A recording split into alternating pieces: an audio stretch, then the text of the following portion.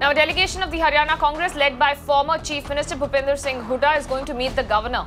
The delegation is demanding a special session over the contentious farm bill. So that's the latest update there coming in with the Haryana Congress also upping the ante at this point. Uh, let me once again go back to my colleague Gurpreet for those updates. Uh, Gurpreet, clearly the Haryana Congress is also upping its ante against the farmers' uh, contentious bill that has been passed in the Lok Sabha. What are the updates you're picking up with this delegation that is all set to meet the governor?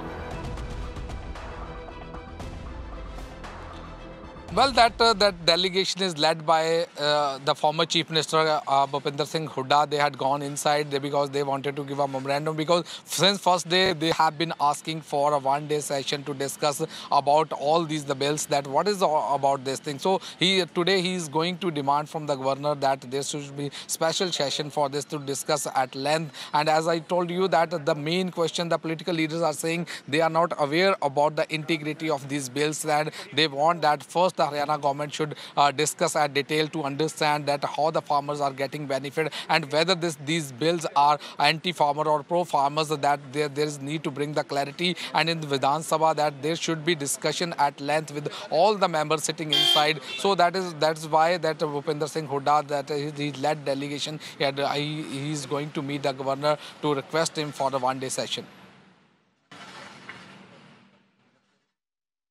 All right, uh, Gurpreet, many thanks for joining us and bringing us all those updates there.